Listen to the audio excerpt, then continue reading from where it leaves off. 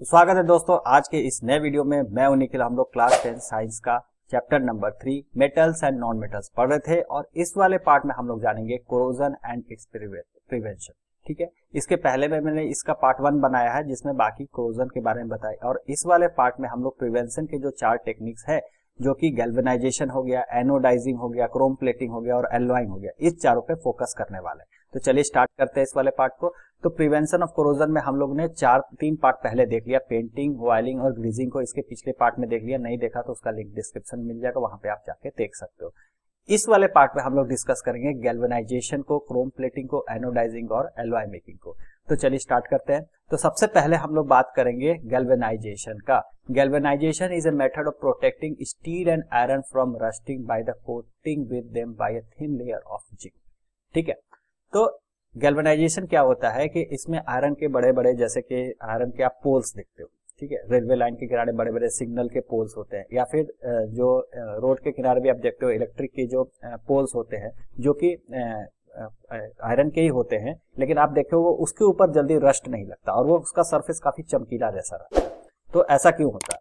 तो उसमें क्या किया जाता है कि उस आयरन के जो खंबे होते हैं रेलवे के खंबे हो गए, चाहे जो इलेक्ट्रिक के खंबे हो गए, उसको क्या किया मोल्टेन जिंक के टब में, ठीक है, एक बड़ा सा टब बनाया जाता है, जिसमें मोल्टेन जिंक रहता है मतलब जिंक लिक्विड स्टेट में रहता है, ठीक है, बड़े से टब जैसा रहता है इंडस्ट्री में यूज़ होता है, और उसमें आयरन के आर्टिकल को हीट करके एक बार डिप करके बस निकाल दिया जाता है।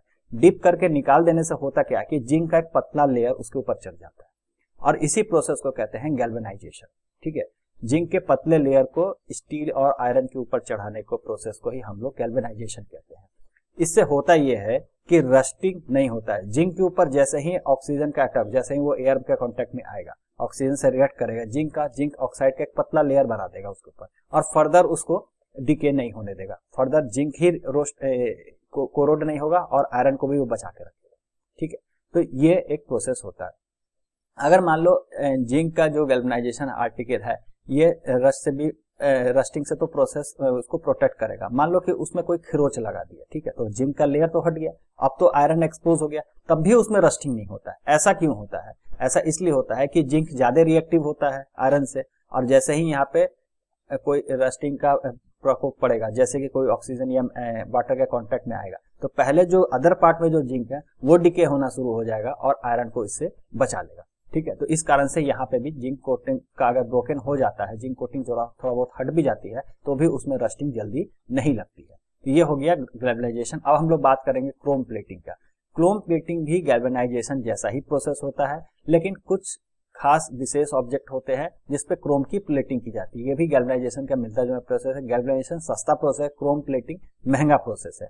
जैसे कि अगर आप देखे होंगे, घर में यूज़ होने वाला जो आयरन होता है हाँ, कपड़े को आयरन करने वाला जो यूज़ होता है। उसके ऊपर आप देखोगे कि क्रोम की प्लेटिंग होती है ठीक है? तो कुछ महँगे आर्टिकल्स में जिसको बहुत अच्छे से यूज़ करना है उसकी लाइफ ज़्यादा बचा के रखनी है तो उसमें क्रोम प्लेटिंग की जाती है। बाकी प्रोसेस दोनों का लगभग गैल्वनाइजेशन क्रोम प्लेटिंग सेम होता है। इलेक्ट्रोलाइसिस प्रोसेस के द्वारा भी क्रोम को डिपोजिट कर दिया जाता है या फिर गला के भी डाल दो। जैसे करके उसका क्रोम का एक लेयर लगाना। प्रोसेस फ़ंक्शन दोनों का सेम है क्रोजन से बचाव करना ठीक है? आयरन पर सबसे अधिक क्रोजन लगता है। तो उसको बचाव करने के या तो क्रोमिंग का क्रोमियम का प्लेटिंग कर दो, या तो फिर गैल्वनाइजेशन कर दो, जिंक का कोटिंग कर दो तो वो दोनों बचा लेते हैं इसको। अब हम लोग बात करेंगे एनोडाइजिंग एनोडाइजिंग क्या प्रोसेस होता है। Anodizing is a process of forming a thick layer of aluminium ठीक है? जैसे कि उसमें जिंक लगाते हैं गैल्वनाइजेशन में एनोडाइजिंग में हम लोग अल्मोनियम का लेयर डेवलप कर देते हैं। Aluminium develop a thin oxide layer when expose to air same process है, जैसे कि जिंक में हम लोग जिंक ऑक्साइड का लेयर जब जाता था, वो उसको फर्दर कोरोजन होने से बताता था। इसमें अल्यूमिनियम का लेयर लगा देंगे, ठीक है? और अल्मोनियम ऑक्साइड जैसे ही फॉर्म करेगा, वो फर्दर कोरोजन नहीं होने लगेगा। जैसे ही अल्मोनियम जो है ऑक्सीजन के साथ रिएक्ट करेगा अल्मोनियम ऑक्साइड का formation aluminium oxide course make it resistance to further corrosion उसको फर्दर कोरोजन नहीं होने देगा। Okay the resistance can be improve by further making oxide layer thicker ठीक है? और जितना हम लोग थिक लेयर ऑक्सीजन का ऑक्साइड का लेयर बन जाएगा, उतना ज़्यादा हम लोग का एनोडाइजिंग प्रोटेक्ट करेगा, ये प्रोसेस को प्रोटेक्ट करेगा। अब इसमें होता यह है कि नेचुरली गैल्वनाइजेशन में नेचुरली लग जाता था। ऑक्साइड कर लिया जिंक ऑक्साइड कर लिया नेचुरल लेकिन यहाँ पे हम लोग एनोडाइजिंग प्रोसेस में आर्टिफिशियली उसके ऊपर अल्मीनियम ऑक्साइड का लेयर लगवा देंगे, ठीक है? तो ड्यूरिंग एनोडाइजिंग में क्या किया जाता है? इलेक्ट्रोलाइसिस प्रोसेस है। इसमें क्लीन अल्यूमिनियम आर्टिकल को एक बार एनोड बना के ठीक है, उसमें पॉजिटिव टर्मिनल जोड़ के और उसको इलेक्ट्रोलाइसिस कर दिया जाता है विद डायलूट सल्फ्यूरिक एसिड जो वाटर रहेगा वाटर में डायलूट सल्फ्यूरिक एसिड डाल के और एनोड पे हम अल्यूमिनियम के आर्टिकल को क्लीन करके डाल देंगे, ठीक है? मतलब कि यहाँ पे ऐसे समझो। जैसे कि मान लो कि यहाँ पे एक टब है, ठीक है? इसमें कैथोड रहेगा, एक एनोड रहेगा। मैं कैथोड जो कि निगेटिव टर्मिनल होता है, और एनोड जो कि पॉजिटिव है। ये जो एनोड होगा, ये एल्यूमिनियम का बना रहेगा। यहाँ पे आर्टिकल हम लगा दिए, ठीक है? और ये जो सॉल्यूशन है पूरा, ये वाटर है। वाटर में एच है plus H two S O four है। एच टू मात्रा में है। ये चीज़ की है। यहाँ पे हम लोग सेटअप कर दिए। कैथोड है तो निगेटिव टर्मिनल ये पॉजिटिव टर्मिनल यहाँ से हम लोग जोड़ दिए इसको, ठीक है? जैसे ही इलेक्ट्रोलाइसिस करेंगे तो एनोड पे क्या होता है, ठीक है? तो यहाँ पे जो वाटर और H two S O four का ये पूरा सोल्यूशन है तो यहाँ पे H प्लस एन और O माइनस एन यहाँ पे बनेगा, ठीक है? तो ऑक्सीजन यहाँ पे अट्रैक्ट हो जाएगा।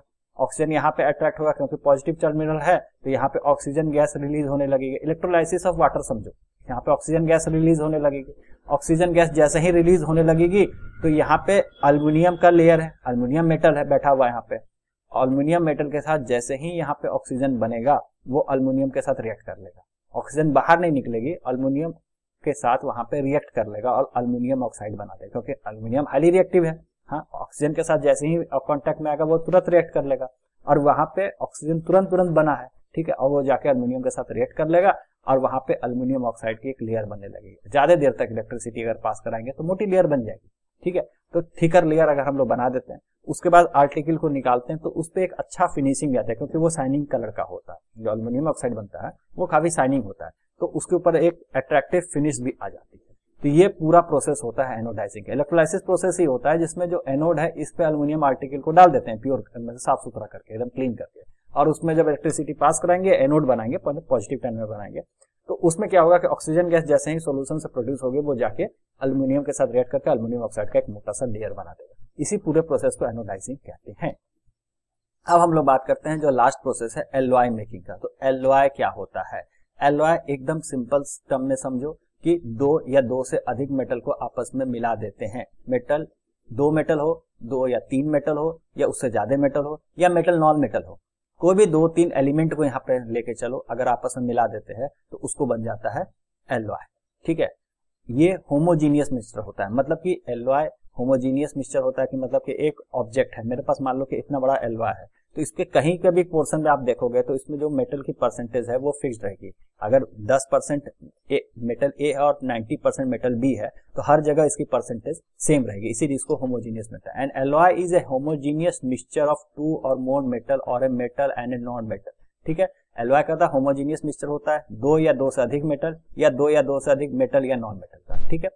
इसको बनाते कैसे? It is prepared by first melting their primary metal दो मेटल दो या दो से अधिक मेटल का तो जो मेन मेटल है, जो सिक्स परसेंटेज सबसे ज़्यादा रहेगी उसमें, ठीक है? तो उसको हम लोग सबसे पहले मेल्ट कर देंगे और उसमें जिस परसेंटेज पे हमें बनाना है तो उस परसेंटेज में बाकी अदर एलिमेंट को उसमें ऐड कर देंगे फिक्स्ड पोर्शन में, ठीक है? और जो उसके बाद कूल डाउन कर देंगे रूम टेम्परेचर पे, बन गया हमारा हलवा, ठीक है? एकदम सिंपल प्रोसेस होता है, ठीक है? अब ये जो एलवाई है, अब एग्ज़ाम्पल कुछ देख लो एलवाई का यहाँ पे।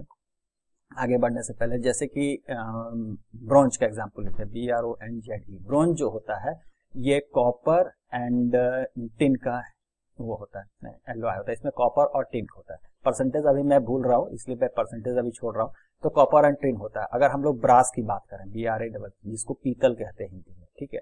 इसमें कॉपर और जिंक होता है। कॉपर मैक्सिमम सेवेंटी परसेंट और जिंक जो होता है थर्टी परसेंट मैक्सिमम ठीक है? तो ये ये परसेंटेज में अगर आप मिला दो कॉपर को आप पहले मेल्ट कर दो, ठीक है? मतलब कि अगर हमको 100 ग्राम बनाना है, ठीक है? 100 ग्राम हमको ब्रास बनाना है तो क्या करेंगे? 70 ग्राम हम कॉपर लेंगे पहले और 30 ग्राम जिंक लेंगे। सबसे पहले कॉपर को एक फर्नेस में डाल के मेल्ट कर देंगे। कॉपर मेल्ट मोल्टन डाउन हो गया। उसके बाद जो हमारा 30 ग्राम जिंक है, उसको उसमें डाल देंगे। और वो पूरे को एक बार पूरी तरह से मिल जाने देंगे, उसके बाद उसको कहीं कास्ट कर लेंगे या फिर उसको ठंडा कर लेंगे। तो वो जो हमारा जो मेटल बन के निकला, जो दो मेटल का मिक्सचर है, उसी को हम लोग एलवाय कहते हैं और इस एलवाय पार्टिकुलर एलवाय को जिसमें 30 परसेंट जिंक और 70 परसेंट कॉपर है उसको हम लोग ब्रास कहेंगे। तो ये है पूरा खेल इसका। अब एलवाइंग क्या है? अब इससे होता क्या है? एलवाइंग मिला के मिलेगा क्या हमें? Alloying is a very good method for improving properties of the metal properties में इसमें थोड़ा सा चेंज हो जाता है। जैसे क्या प्रॉपर्टी में चेंज हो जाता है?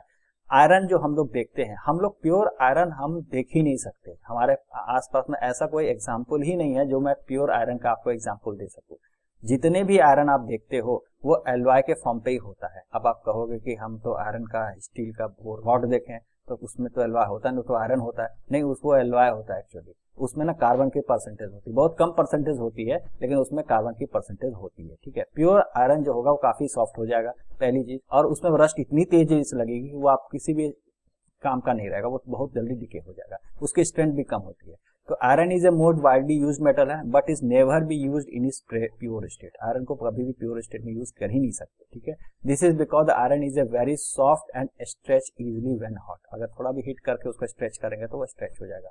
But if a fixed, if it is mixed with a small amount of carbon, about 0.05 percent अब जैसे कि आयरन का जो होता है, जितने भी आयरन के ऑब्जेक्ट होते हैं तो उसमें 0.05 परसेंट से लेके मैक्सिमम 4.3 परसेंट तक ठीक है, इसमें आयरन, कार्बन का परसेंटेज होता है। अब अलग अलग आयरन के आर्टिकल पे अलग अलग वेरी कर सकता है। अब रेलवे की जो रेलवे लाइंस हैं, ठीक है, उस पे जो कार्बन का परसेंटेज है, उसका कुछ और होगा और जो हमारे छतों में जो सरियाँ लगती हैं, लोहे के जो छड़ लगते हैं, उसमें आयरन का परसेंटेज कुछ और होगा। तो कार्बन का परसेंटेज कुछ और होगा। तो जैसा हमें रिक्वायरमेंट होता है, उस हिसाब से कार्बन का परसेंटेज को उसमें हम लोग वेरी कराते हैं और उस हिसाब से हमें आयरन का एलवा मिलता है। तो जितना भी आयरन का आज से आप ऑब्जेक्ट देख रहे हो, वो एग्जैक्टली आयरन नहीं है। उसमें आयरन और कार्बन का मिक्सचर होता है। ये मैं आयरन का बात कर रहा हूँ।